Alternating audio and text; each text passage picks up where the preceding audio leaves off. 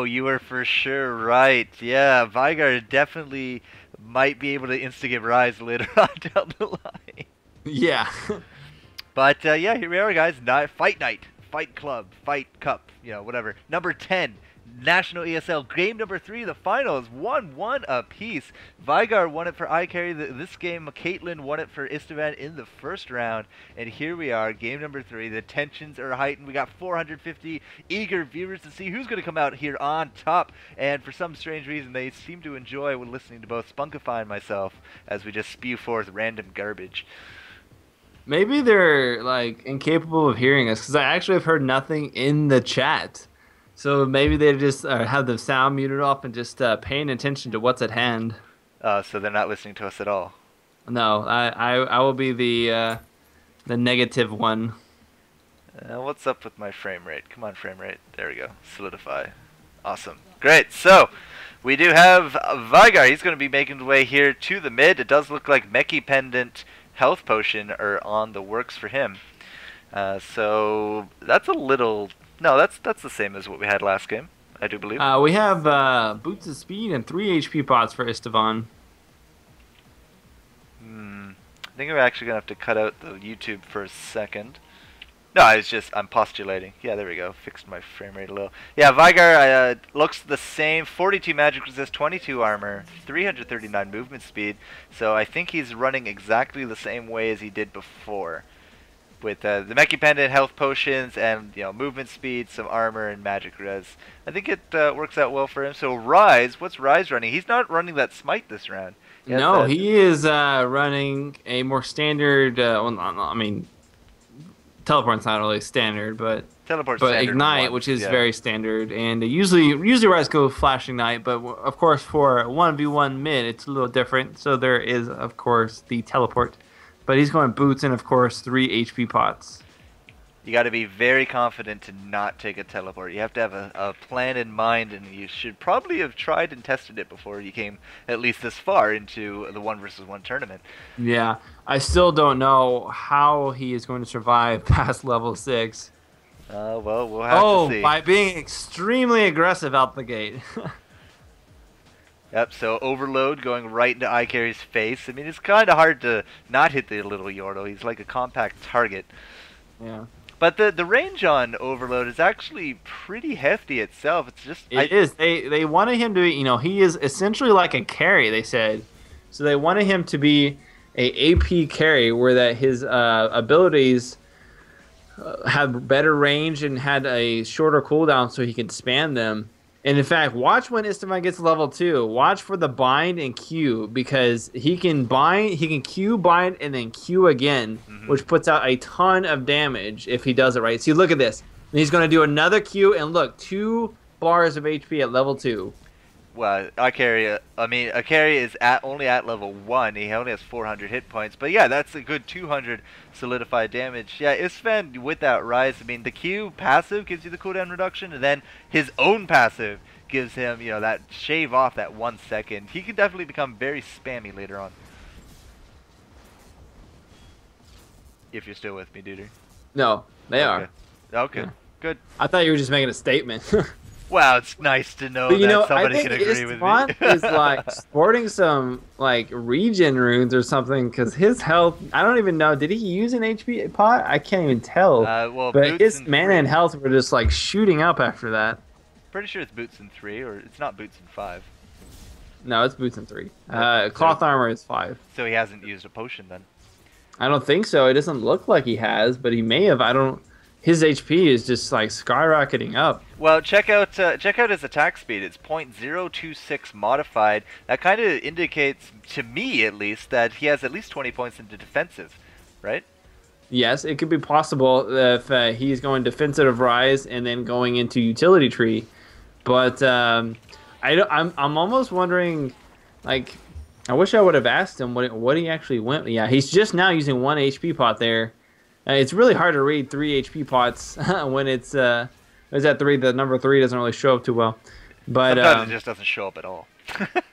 yeah, I, I, don't even think it was. That's why I was like, wait, he's already done a one HP pop. I don't think he even used it. No. See, like they're trading blows there. iKarry and Istvaan trading blows. Mm-hmm. iKarry does not have any HP pots now. but Istvaan is low on mana. Yeah, but if, if Istvaan can go, you know, cheek for cheek here, iKarry will be the one to return home simply because of the lack of that extra uh, health potions. But iKarry, I mean, he didn't go back to town last time either. I do think Ryze is running some kind of health regen. Uh, you know. Yeah, he's just comp. he's using an HP pot there, but if you were watching, you know, when his health went down, he wasn't using an HP pot. His health was just like skyrocketing, and it may have been because he went defensive and he got the points in defensive that gave him health regen based off of how much mana he had. Plus utility as well. Yep. Yes, plus utility. Yeah, so he might be running that. Uh, iKarry doesn't seem to carry because he's just going to keep farming. He's up to 5 ability power with that Q spam of his. They're just going to go back and forth. Creeps is 26-17, actually in favor of Ryze. And uh, he's going to be hitting those level 6s soon. That's where we should theoretically see Veigar start uh, shining a little Pulling bit. ahead, I think. Yeah. Because Ryze's ultimate it gives him a you know some bonus mana, which obviously helps. Yep. But it doesn't in a one v one situation give him exactly what he needs. You know, it kind of spreads his damage out, makes him a little bit more AOE related.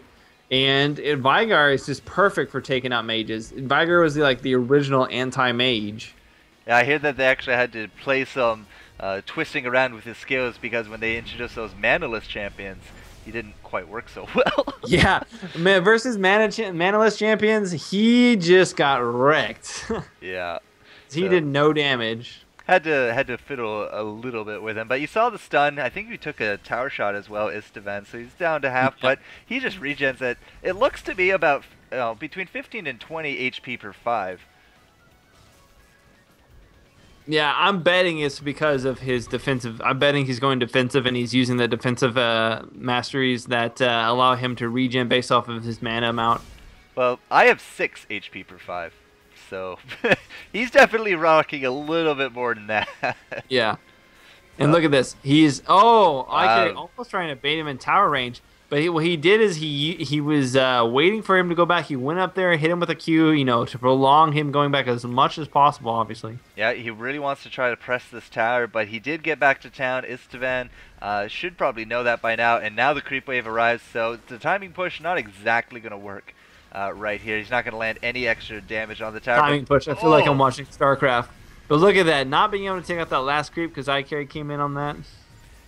With a blue potion, some boots, four, and we've seen this before, the four health potions, four mana potions. Uh, Ryze is just Basically, you're gonna stay in the lane for forever. Yeah, where'd Ryze end up? Is he gone back to Ryze actually went back to base. Yep, good, good.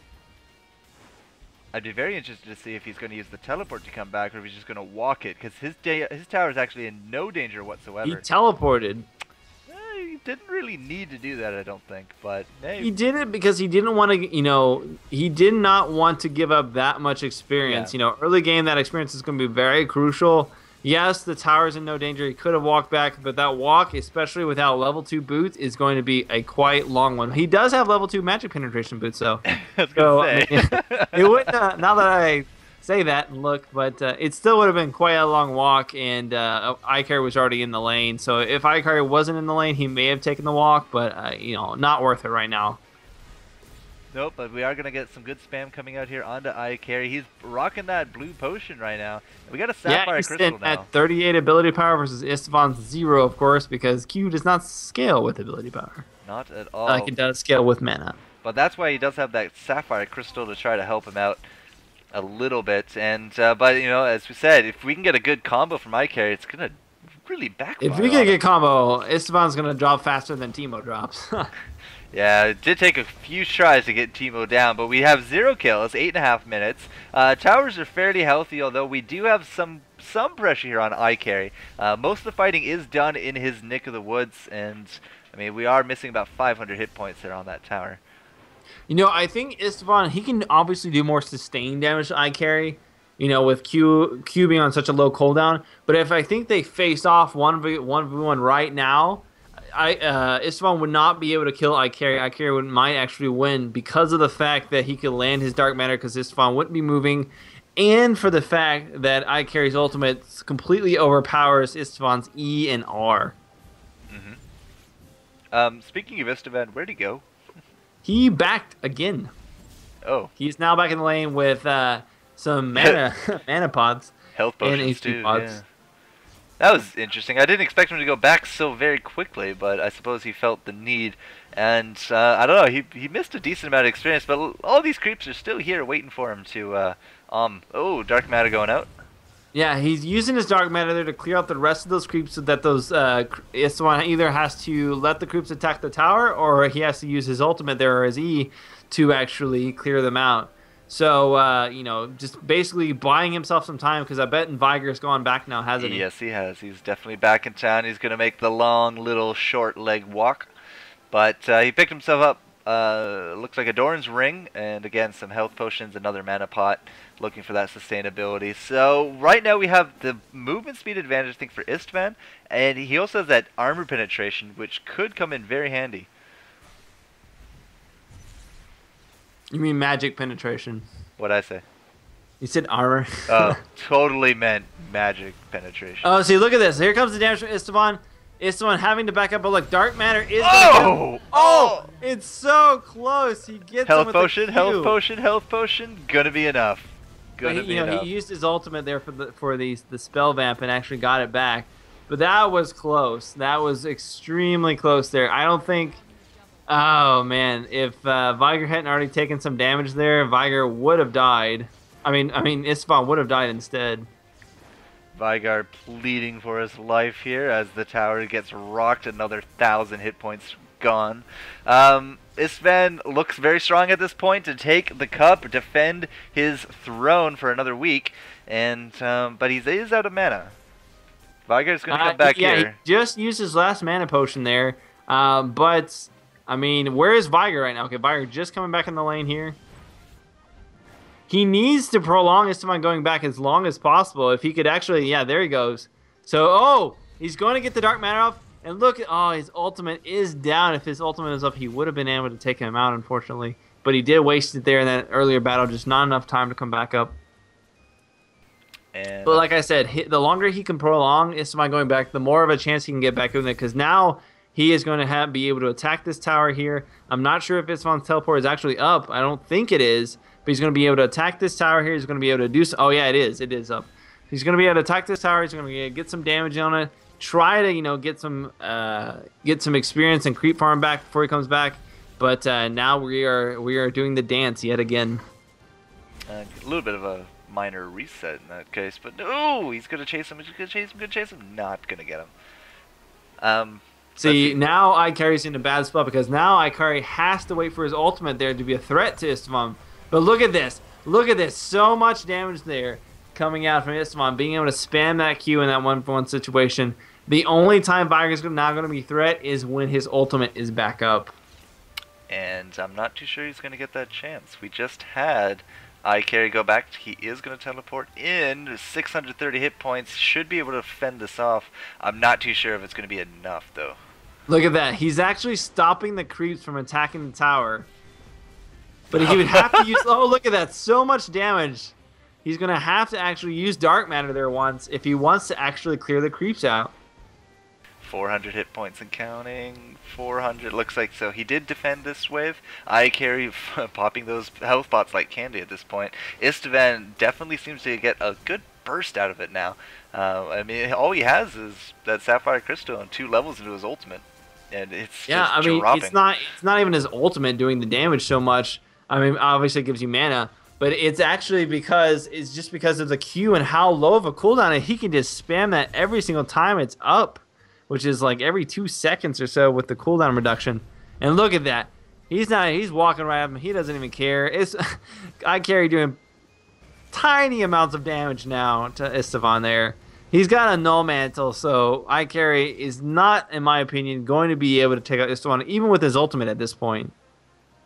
It's um not looking good at this point. iKarry. It's still outrange it, and this is going to be it. This is going to be it. Oh, oh, oh! and that's GG. Not even gonna bother with that tower. So I'm gonna come in here. I'm gonna defend this tower up against this level 11 Ryze, but it does look like Istvaan is our new uh, Fight Club number 10 champion. Uh, I'm coming for you, Jester. Come here. Come, Yeah. here. Come down the river. Come down the river. One v one. Let's go. 1v1. Where are you, anyways? Alright, so Istvan, he did take the cup. He is. Oh, there you are. Okay, that was kind of a bait and a half, wasn't it? and there is my kill. All right. Actually, just came into that brush when you came in there. Uh huh. All right, so Malzahar is showing his dominance there, but Istvaan oh, going to be taking it. item, just a ring. What's up? Going to take it 2-1 over iKarry. iKarry coming second yet again. So good games, well played to all parties. We had 31 people here in the cup, and 31 people did play. And you know, uh, everyone, thanks for all your support. Thanks for watching. Thanks for participating in these cups. It's great to see you know the community come out and play these games. It's uh, heartwarming to say the least. And that will be that for the one versus one Fight Club number 10. So Smugify, thank you again for streaming, for commentating. It was a pleasure, being here. guys. I had a great time. It was a good cup, and uh, congrats to Istvaan. And big thanks to our admins as well, uh, Jaden the Broker, Goose, and I think uh, we had Jason helping out Zeus. So, you know, good congrats to them for helping us out and keeping everything uh, moving smoothly. So the next cast, I'm going to see what we can do about uh, getting the 2v2 tomorrow casted. But past that, we got the ESL Premier League coming out on Thursday. So stay tuned to it, guys. We appreciate it. We'll catch you later. Spunkify out. See you later.